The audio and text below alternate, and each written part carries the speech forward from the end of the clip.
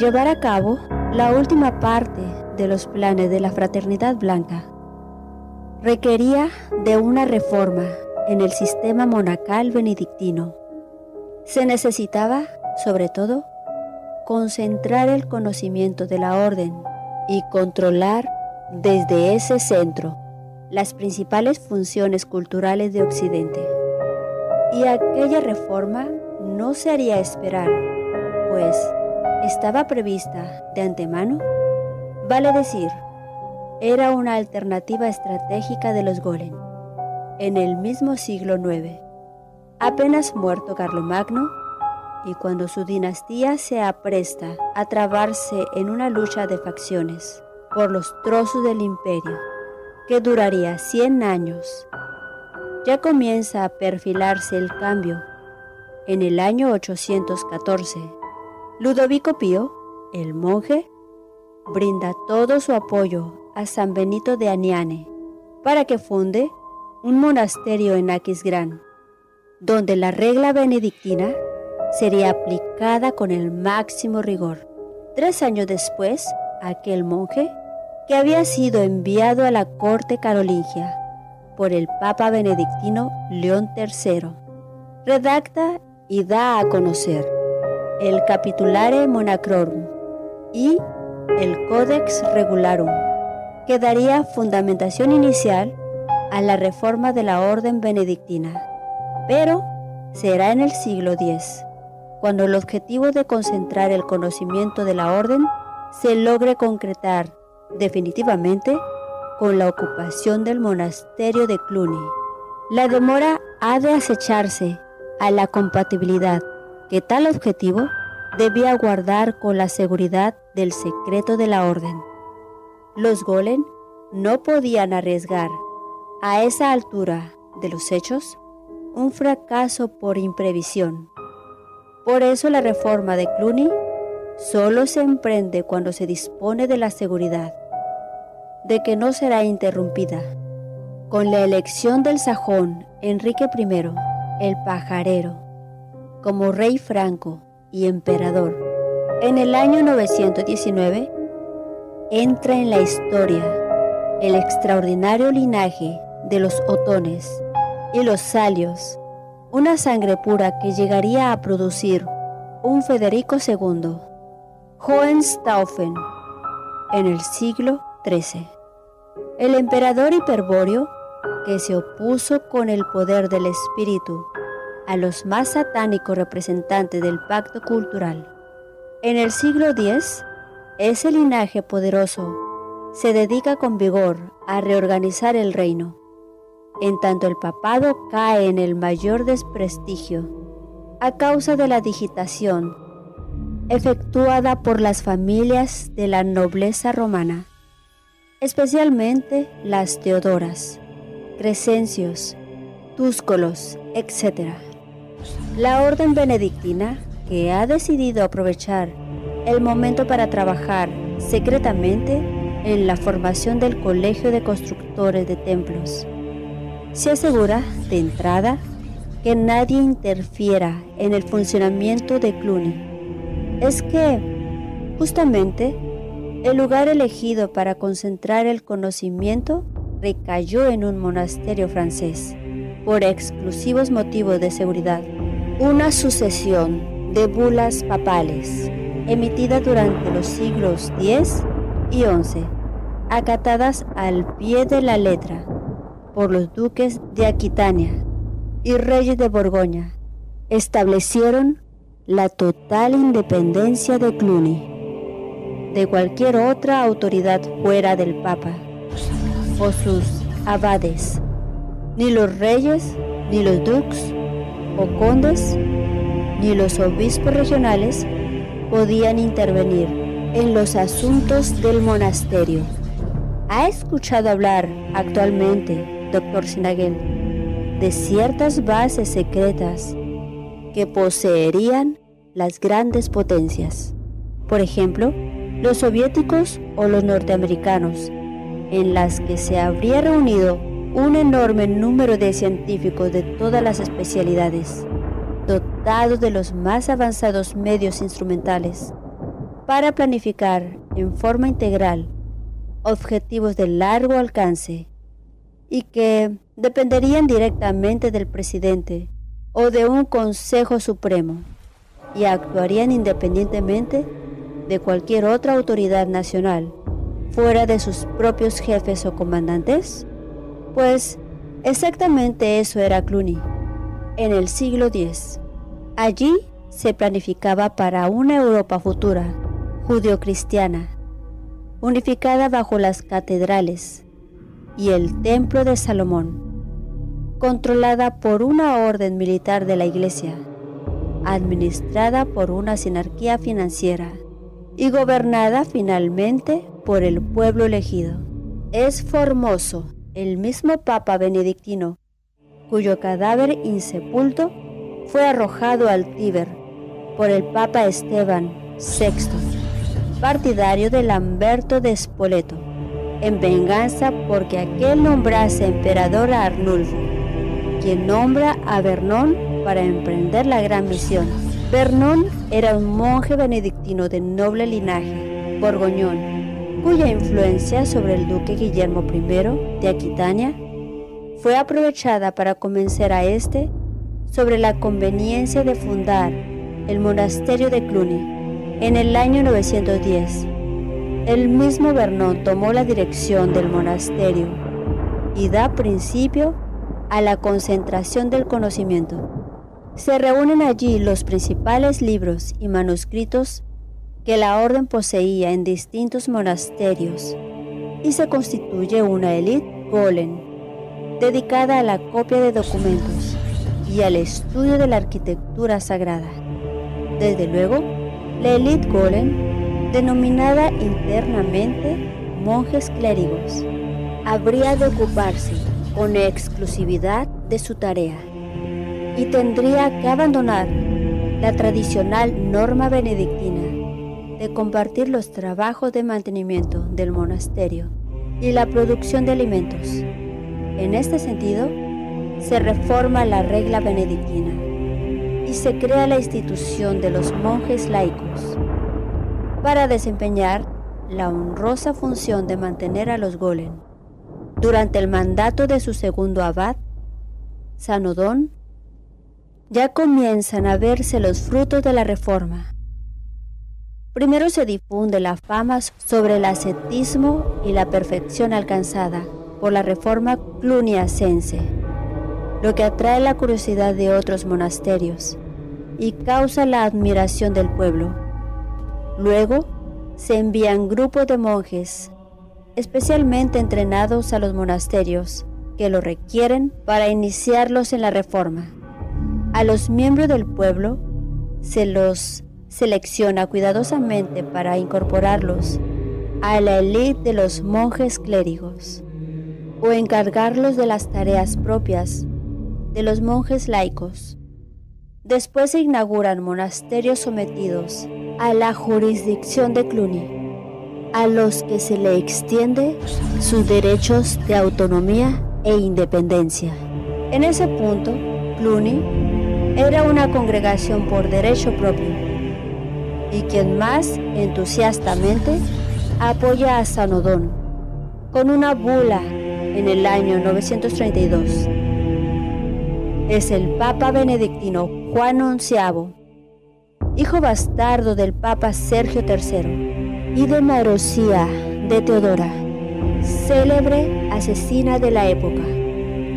Tras 150 años de actividad, la congregación de Cluny cuenta con 2.000 monasterios distribuidos principalmente en Francia, Alemania e Italia, pero también en España, Inglaterra, Polonia, etc., sin incluir los restantes miles de monasterios benedictinos que han adoptado la reforma cluniacense, pero que no dependen del abad de Cluny. A mediados del siglo XI, la orden ha conseguido transformar eficazmente la cultura europea bajo el mando intelectual de los benedictinos de Cluny se han formado los gremios de masones operativos, que demostraron su pericia en el arte de la construcción románico y que ya están listos para lanzar la revolución del gáulico, mal llamado gótico. Atrás de ese movimiento, naturalmente está el Colegio Secreto de Constructores de Templos. Pero también se ha logrado plantar en el corazón de los señores feudales la semilla del sentimentalismo, del arrepentimiento y de la piedad cristiana. Los pecados pesan cada vez más en el alma del caballero y requieren el alivio de la confesión sacerdotal. Se acepta morigerar la conducta guerrera mediante la paz de Dios y la tregua de Dios, determinadas por los sacerdotes. Se moraliza a los guerreros germanos con los principios judaicos de la ley de Dios, del temor a la justicia de Dios, etc. Como resultado de esto, surge una clase especial de nobles y caballeros que, sin perder su valor y audacia, pero respetuosos de Dios y de sus representantes, están condicionados para arrojarse ciegamente a cualquier aventura que les señale la Iglesia. Los planes de la Fraternidad Blanca se van cumpliendo en todas sus partes en el año 1000, luego de haber atemorizado a Europa con la proximidad del juicio final, los Golen avanzan un gran paso al exponer al emperador alemán su proyecto de reconstrucción del Imperio Romano de Occidente, con capital en Roma, y conseguir que éste acepte desplazar la capital del imperio de su base alemana aunque tal proyecto no se concretaría. La idea ya estaba lanzada e influiría durante 250 años en los objetivos imperiales del reino alemán. Los detalles de ese plan se encuerdan entre el rey Otón y el Grande y el Papa Golen Silvestre II, cuyo nombre era Gerberto de Reims, y en ese plan del año 1000 en el compromiso que asumía el emperador de luchar contra los infieles, especialmente contra los sarracenos de España, mediante una milicia de Dios. Estaban claramente esbozados los conceptos de las cruzadas y de las órdenes militares 100 años antes de su realización. Pero el éxito del plan respondía, en todo caso, de la sujeción del emperador frente a la autoridad del Papa, del dominio que la Iglesia pudiese imponer sobre el temperamento naturalmente indómito de los soberanos germanos. Sería allí donde se medirían nuevamente las fuerzas del pacto cultural contra el recuerdo inconsciente del pacto de sangre. Para eso, los golems sentarían en el trono de San Pedro a un reformador cluniacense de fanatismo sin par, el monje Hidelbrando, que pasará a la historia como el Papa Gregorio VII, el Papa que haría humillar al emperador Enrique IV en Canosa antes de levantarle la excomunión, demostrando con ello la superioridad del poder espiritual sobre el poder temporal, es decir, sosteniendo la antigua falsificación de los atlantes morenos y de los sacerdotes del pacto cultural. Para la sabiduría hiperbórea del pacto de sangre, contrariamente, el espíritu es esencialmente guerrero y, por lo tanto, las castas nobles y guerreras son espiritualmente superiores a las sacerdotales. Mas, con la debilidad de Enrique IV, el daño estaba causado y le tocaría a sus descendientes luchar contra un papado golem erigido en director del destino de Occidente, que los golem no confiaron ni confiarían jamás en los alemanes, aparte de la erradicación del Colegio de Constructores de Cluny. Lo indica su actitud favorable a los normandos como ejecutores preferidos de sus planes seguidos de los franceses, aquellos que no pertenecían como se supone a la familia de pueblos germanos, sino a una tribu céltica de Escandinavia, étnicamente diferente de los vikingos noruegos, suecos y daneses. Se habían conquistado un ducado en el norte de Francia, la Normandía, que fue reconocido oficialmente por Carlos el Simple en el año 911 por el Tratado de Paz pactado entre Saint-Clair-Surepte el duque Rolón se bautizaba y aceptaba el cristianismo junto con su pueblo, cuya evangelización definitiva se dejaba en manos de la orden benedictina. No tardaron, pues, en florecer los monasterios en la Normandía y en quedar finalmente toda la nobleza normanda bajo la influencia de Cluny. 150 años después, se comprobaban los efectos de la paciente labor de adoctrinamiento y acondicionamiento cultural realizado por los benedictinos. Los normandos estaban preparados para constituirse en un brazo ejecutor de los planes de la Fraternidad Blanca. El Papa Golen, Nicolás II, aquel que instituye la elección papal por parte de los cardenales les entrega el feudo al sur de Italia, al rey Roberto Guiscardo, la Puglia, Calabria y Sicilia, a Ricardo de Anversa, Capua.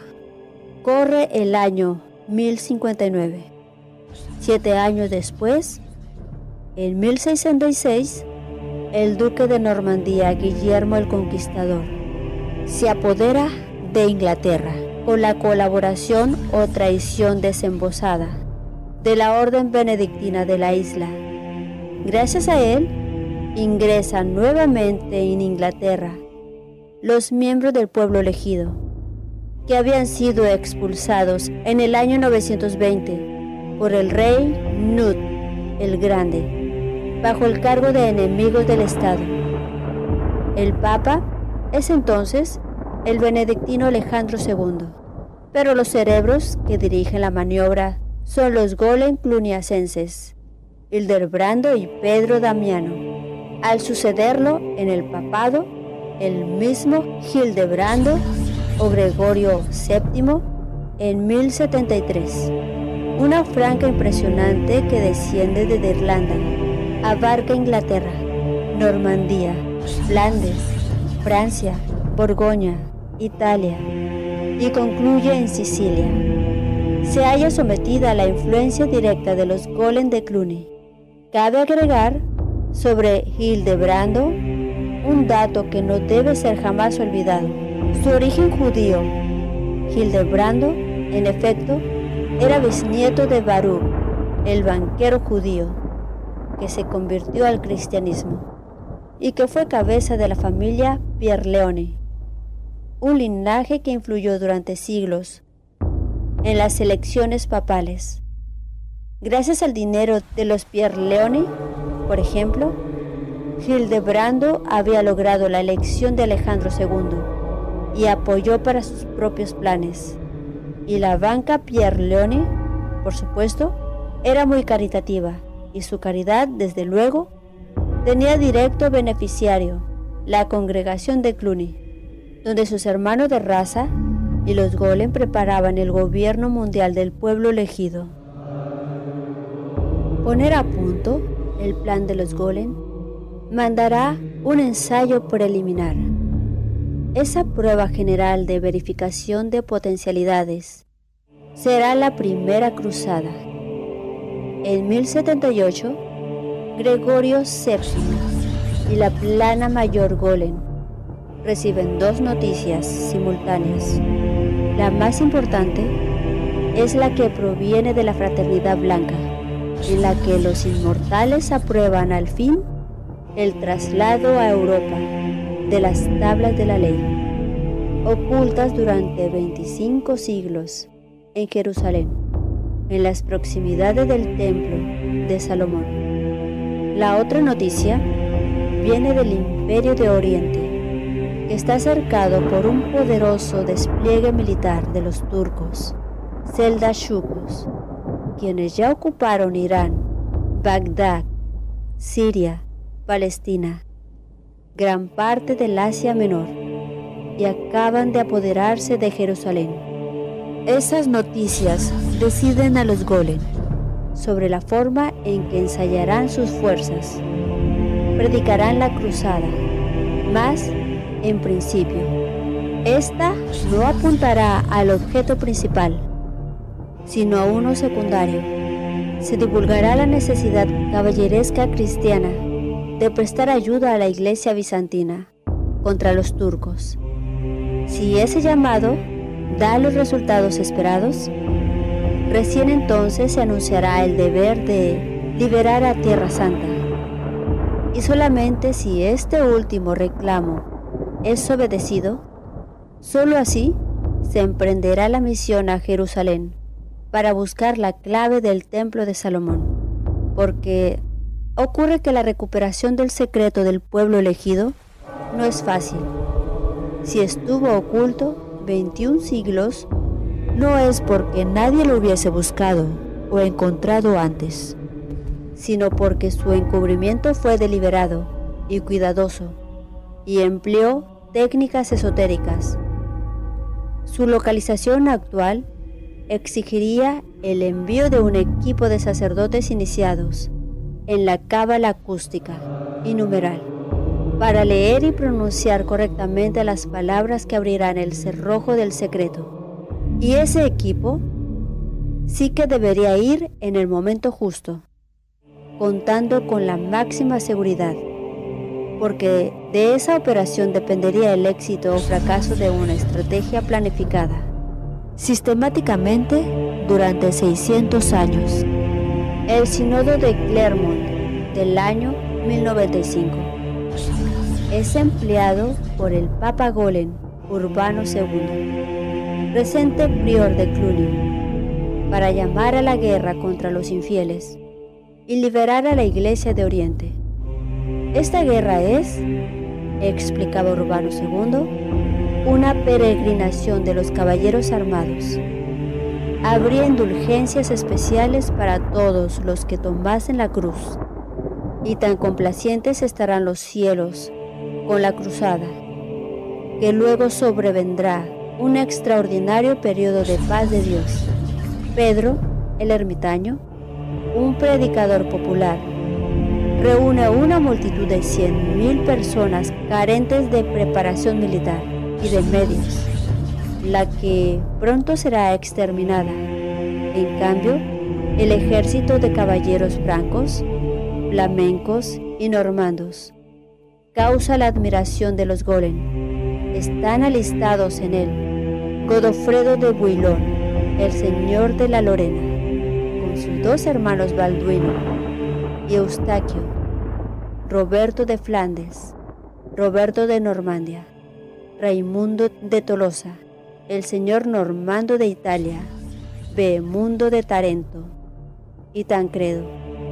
A este ejército se le podía solicitar, de entrada, la conquista de Jerusalén tras múltiples dificultades propias de la guerra contra un enemigo valeroso y religiosamente fanatizado, agravadas por las traiciones de los bizantinos. Los cruzados consiguen conquistar Jerusalén en 1099, tres años después de la partida de Europa. Se funda allí un reino cristiano del que Godofredo de Buelón es el primer rey. Tras esa victoria, los Golem solo emplearán 30 años en ubicar las tablas de la ley y transportarlas a Europa. A partir de entonces, comenzará la revolución del Gáulico o Gótico. Aquella fase del plan se desarrolló con varios movimientos paralelos. Por un lado, había que preparar un lugar adecuado para recibir las tablas de la ley descifrar su mensaje y encontrar el modo de aplicar el conocimiento de la serpiente a la construcción de templos. Por otra parte, se debía despachar cuanto antes hacia Jerusalén el equipo de iniciados Golem, que se encargaría de localizar el secreto. Y también habría que dar marcha de inmediato a la formación de la orden militar, que sostendría a la sinarquía financiera, que prontamente se tendrá que crear. Si tales movimientos culminaban en los objetivos propuestos por la Fraternidad Blanca, entonces no tardaría en sobrevenir el gobierno mundial del pueblo elegido y se cumpliría la voluntad del Dios Creador Uno. El monje benedictino Roberto recibió en 1098 la orden de retirarse a las inmediaciones de Sitius en el año 1100, apenas conocida la noticia de la toma de Jerusalén. El Papa Pascual II lo pone al frente de la abadía del Cister y le encomienda la reforma de la regla cluniacense sobre la base de la Regula Monacrorum de San Benito. Él y su sucesor Albérico introducen cambios sustanciales con respecto a Cluny. Los monjes vuelven al trabajo manual. Se insiste con más rigor en el ascetismo y la soledad es decir, en el secreto, y se cambia la indumentaria. En adelante, los cistercienses no emplearán el hábito negro clásico de los cluniacenses y benedictinos, sino uno blanco, semejante a la antigua túnica de los goles de las Galias romanas y a la de los sacerdotes levitas, que custodiaban en Israel el arca con las tablas de la ley. En el 1112, la comunidad está lista para recibir al grupo de iniciados que le dará su definitiva conformación.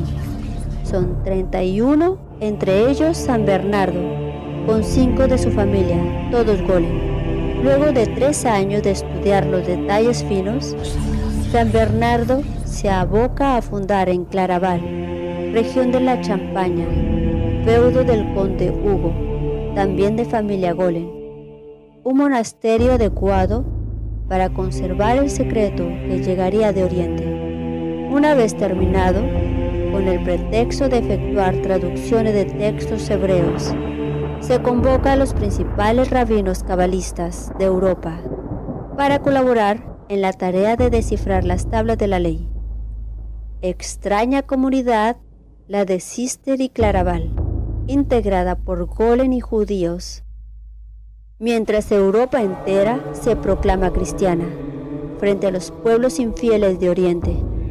A la muerte de San Bernardo existían 350 monasterios cistercienses y al final del siglo VIII llegaban a 700 en Europa. De este modo, se llevó adelante el primer movimiento. En cuanto a Cluny, no hay que creer que la fundación del Cister y la expansión de la Orden del Temple le iban a restar algún poder. Prueba de ello es el enorme volumen de sus instalaciones, alcanzado en el siglo XIII. Como ejemplo, valga recordar que en 1245, con motivo del Concilio General de Lyon, reunido por los Goren para excomulgar al emperador hiperbóreo Federico II. Una numerosa comitiva acompañó al Papa en su visita a Cluny, donde fueron alojados cómodamente sin necesidad de que los monjes abandonasen sus celdas.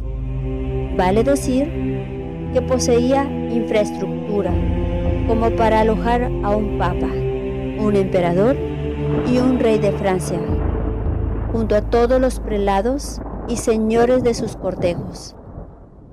No crea que exagero, doctor Sinaguel. Además del Papa Inocencio IV, estaban allí los dos patriarcas de Antioquia y Constantinopla, doce cardenales, trece arzobispos, quince obispos, el rey de Francia, San Luis, su madre Blanca de Castilla, su hermano el duque de Artois y su hermana, el emperador de Constantinopla Belduino II, los hijos del rey de Aragón y Castilla, el duque de Borgoña, seis condes y un elevado número de señores y caballeros. Su biblioteca contaba con cinco mil volúmenes copiados por los frailes, aparte de los cientos de manuscritos, rollos y libros de la antigüedad, que eran piezas únicas en Europa.